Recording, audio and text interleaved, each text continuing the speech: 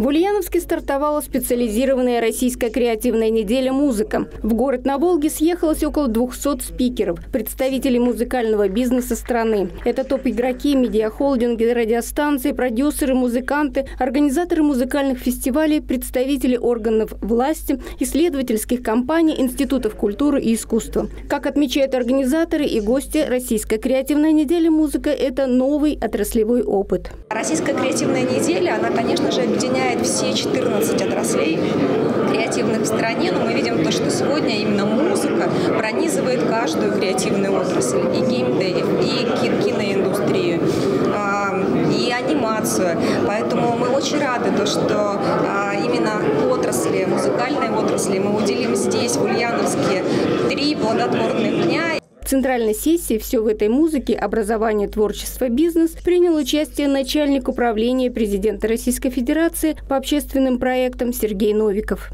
Когда президент подписал указ о национальных целях, и там появилась э, цель увеличения доли креативных индустрий в креативной экономике, э, мы пошли именно по популяризации креативных индустрий по разным направлениям. Мы начали с музыки, и Ульяновске проходит первый такой, первый такой тематический форум, и мне кажется, благодаря этому Ульяновск войдет в историю развития креативных индустрий. Ульяновск выбран площадкой для проведения российской креативной недели не случайно. В регионе на протяжении более 10 лет ведется работа по развитию креативных индустрий. На областном уровне лучшим из лучших ежегодно вручается премия «Ульяновская область. Креативный регион». Мы 11 место занимаем в рейтинге креативных регионов и 12 место в рейтинге креативного потенциала согласно исследованию Высшей школы экономики за 2023 год.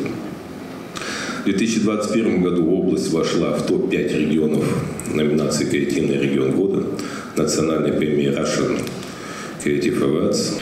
Ульяновск – первый город в России, удостоенный статуса «Креативный город ЮНЕСКО». Организаторы и участники мероприятия попытались при помощи форума нарисовать полноценную карту музыкальной отрасли России, где отражаются отраслевые проблемы, а также сформулированы задачи федерального масштаба. Генеральный директор ЦИОМ Валерий Федоров озвучил любопытные результаты опроса о музыкальных предпочтениях россиян. Согласно ему, музыку слушает 89%. Рейтинг музыкальных пристрастий возглавляет рок. Его предпочитает каждый четвертый в нашей стране – 24%. А далее в топе следует «Шаман», отечественный исполнитель Ярослав Дронов, который выступает под псевдонимом «Шаман», набрал в рейтинге 19% упоминаний. Примерно такая же доля упоминаний у классической музыки – 18%. Напомним, что Российская креативная неделя музыка включает не только деловую программу, но и фестивальную, которая пройдет на разных площадках города в течение следующих двух дней. Ирина Антонова, Геннадий Бухтаяров, Улправда ТВ.